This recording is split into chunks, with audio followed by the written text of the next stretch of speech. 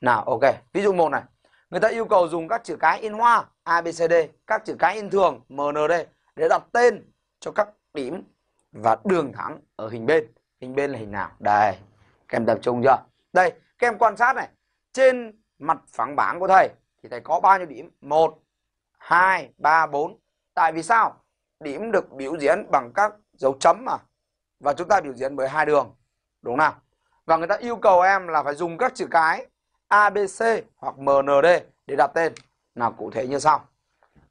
Em tập trung nhá. Ví dụ một của thầy này. Đây, thầy có hai đường thẳng. Các em tập trung không? Đây thầy có hai đường thẳng. Đây là một điểm. Đúng nào các em? Thầy có đường thẳng này, đường thẳng A. Thầy đặt tên, em có thể đặt tên là A hoặc em có thể đặt tên là M. Thầy đặt tên là đường thẳng này, đường thẳng D. Được chưa? Điểm này thầy đặt tên là điểm A, được không? Đấy, điểm em nhìn nhá, đường thì dùng chữ cái in thường. Điểm này thì đặt tên là chữ cái in hoa là A. Điểm này của thầy đặt tên chữ cái in hoa là B. Nhớ cho thầy này. Điểm này thầy đặt tên chữ cái in hoa là C.